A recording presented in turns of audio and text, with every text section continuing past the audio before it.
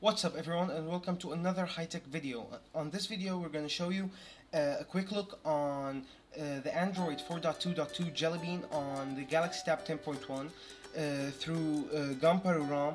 This ROM works on both uh, the Galaxy Tab 10.1 P7500 and P7510, the 3G and Wi-Fi versions.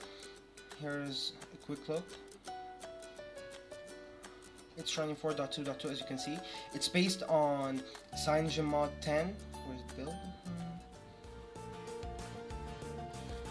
Uh, there's plenty of features over the stock CyanogenMod, like uh, you can change the, uh, the UI of the tablet by going into System, Status Bar, and enabling tablet UI or disabling it. Disabling it it will give you a Nexus 10 look and feel, you know, like uh, the notification shade and the quick setting uh, menu would be over on the top.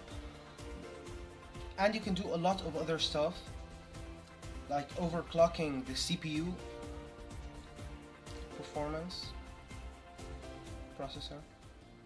You can set the min minimum speed or the maximum speed you can overclock it up to 1.4 gigahertz. I recommend overclocking it uh, to 1.2 because uh, 1.4 consumes a lot of bat battery and sometimes uh, the system can overheat a little bit but no uh, performance issues whatsoever. The ROM comes with plenty of apps I've installed some apps here extra because I've been using the ROM for over a month and it's been pretty stable and pretty amazing. Anywho, uh, the links in the description on the download links and how to install it. Thank you for watching. Peace out, comment, rate, and subscribe. Bye.